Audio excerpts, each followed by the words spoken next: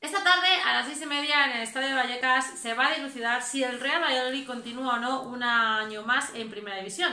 Es verdad que va a depender mucho también, no solo de lo que haga el Real Valladolid en Vallecas, sino también lo que haga, en este caso, el partido que se va a celebrar en Girona entre el Girona y el Levante.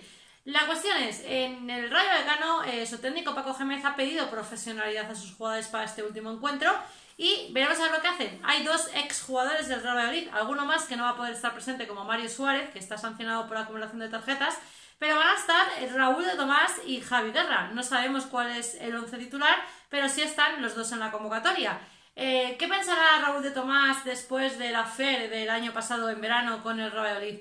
Intentará marcar, porque sabemos que Raúl de Tomás lo que intenta es contribuir lo máximo posible con goles y ya lleva nada más y nada menos que 14, así que va a querer aumentar esa ventaja. O Javi Garra, que ha tenido pocos minutos y quizá a lo mejor sea su despedida también del Rayo Vallecano. Pues nada, lo veremos, veremos a ver si el Rayo Vallecano es capaz de ganar en un campo que la verdad que tradicionalmente no se le ha dado mal, pero enfrente va a tener eh, al Rayo Vallecano con dos jugadores en la punta de ataque como Raúl de Tomás que busca siempre el gol o Javi Guerra, que va a buscar también esos minutos que no ha tenido durante la campaña. Así que no sé lo que pensarán los aficionados de Real Pensarán que, bueno, pues que a lo mejor el Real se salvará.